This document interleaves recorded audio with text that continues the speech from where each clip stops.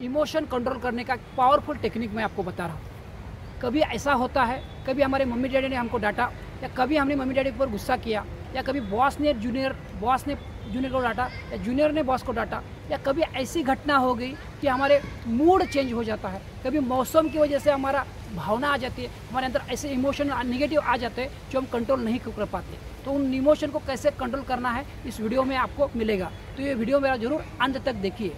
क्या है? इसमें तीन शब्द है जो आपको दोहराने हैं। जब जो इमोशन अतार्किक, जिसका कोई तर्क नहीं है, वो इमोशन जब आ जाते हैं तब। तो क्या शब्द है? तीन शब्द, सी एस एन बड़े शब्द में बताता हूँ, चुप बैठो, शांत रहो, नियंत्रण में हो।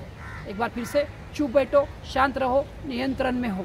तो ये क्या शब्द है? तो जो इमोशन आते हैं तो सबकॉन्शियस माइंड से आते हैं अंतर मन से आते हैं। जिसकी ताकत 90 परसेंट से ज़्यादा है और हमें कंट्रोल नहीं होता है।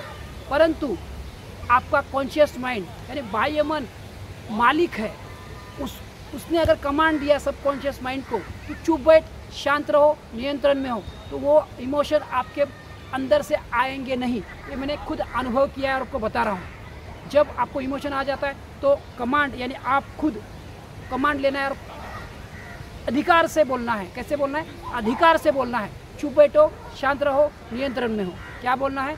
चुप बैठो, शांत रहो, नियंत्रण में हो। जब आप बोलोगे तो अंदर की अतार्किक भावना खत्म हो जाएगी। पर आपको बोलना होगा विश्वास के साथ। एक बार नहीं, दो बार नहीं, जब तक वो इमोशन नहीं चला जाता, तब तक बोलना है। मैंने इसको खुद एक्सपीरियंस किया पिछले महीने में।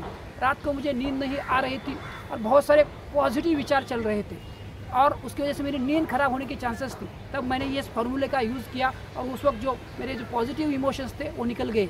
और मैं शांति से सो पाया।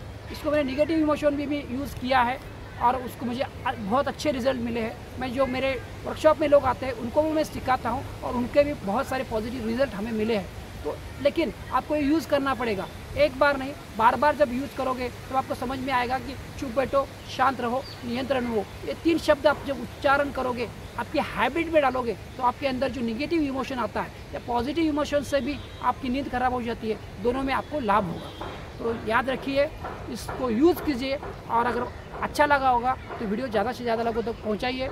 हमारा चैनल का उद्देश्य है कि one lakh create happy healthy and wealthy families तो ज़्यादा से लोगों तक पहुँचाइए। आपने मेरा वीडियो अंत तक देखा, इसके लिए आपका बहुत बहुत धन्यवाद।